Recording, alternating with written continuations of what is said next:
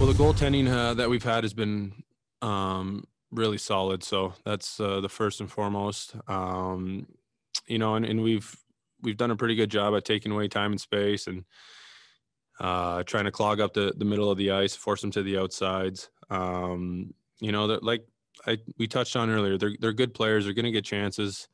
Um, you know, I expect them to come out hard tonight, so we're going to have to be ready. Um, as far as the challenge tonight, I, yeah, same thing. We got to stick with it. We can't get, um, you know, we, we got to stay our, our path. We got to play our game, focus on, on what we're doing. Um, that's given us success. We got to continue with it. Next up, we'll go to Chris Johnson, Sportsnet. Go ahead, Chris. Hey, Jake, with, with the, the team defense these last two games, do you, do you think that is that the best you've seen in your time in Toronto or, or how do you kind of view the, you know, what we've seen here these last two? Yeah, it's it's it's been solid. Um, but I, I think we've been defending too much. Um, I think we need to be cleaner with our breakouts and um, with our exits. And you know, we we've done a good job defending. I think we, we just we've just done it too much. So um, it's been nice though. We've we've had five guys and a goaltender all committed, um, doing the right things in our zone. Um, we just like to do it less. And last one here, we'll go back to Mark Masters. Go ahead, Mark. Jake, just following up on that, when you when you guys get Austin back, and we're, we're not sure if it's tonight, but moving forward here, how would you describe the boost? I know it's only been two games, but with everything he does and has done this season, what does that do for the group?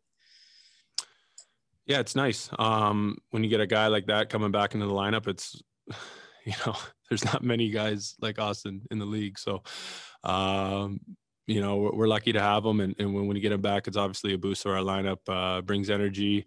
Obviously, he's, you know, he can score goals and, and he's a, he's a, he's been a really solid two way center for us. So he's, uh, he's a big piece to our club. And whenever he comes back, we'll, we'll be welcoming him with open arms.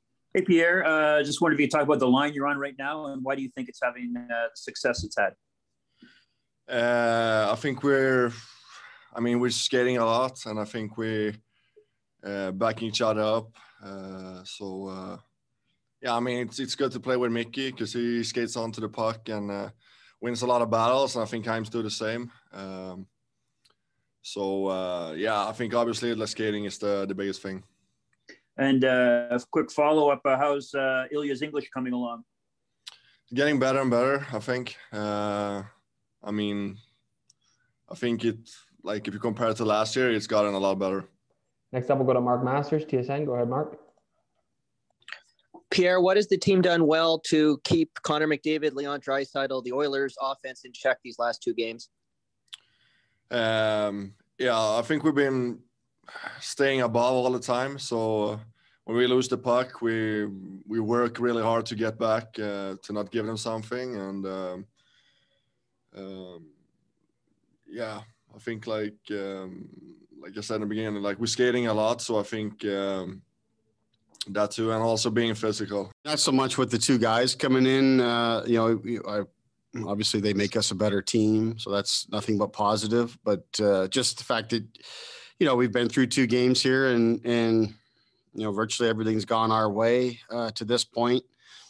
Uh, you know, Edmonton's going to make a bunch of changes to their lineup and their lines and stuff like that here tonight and uh, they're looking to get uh, a spark, and we certainly expect that they that they would. And uh, we, have got to be, you know, we've got to continue to be focused and dialed in on all our details. And you know, we had another meeting this morning, just looking to clean things up. I mean, we're not, uh, we're not here, you know, getting comfortable with how we're playing or anything like that. We're continuing to work to get better as a team. There was a lot of things that we didn't like in the last game, and uh, we're expecting us to be better in, in those areas here today, no matter who's in the lineup. Next up, we'll go to Josh Clipperton, Canadian Press. Go ahead, Josh. Hey, Sheldon, it's kind of hard to believe, but you're going to be four games short of the midway point of the schedule uh, after tonight. I'm just wondering, generally, if there's anything about your team or the season in general that, that up to this point that you weren't expecting. I wouldn't say that. I mean, I don't say there's anything I, I wasn't expecting. I had high expectations for our team, and uh, high expectations of the individuals, and I think you know the guys have delivered on that. Uh, so you know, I think we're we're happy with how things have gone here, but we also recognize as much as things go quickly and you're you're approaching the midway point here, there's lots of hockey left to be played, and we've got to continue to grow as a group. We're we're not where you know we're not where where we think we can be as a team. We think we we can uh, continue to to grow.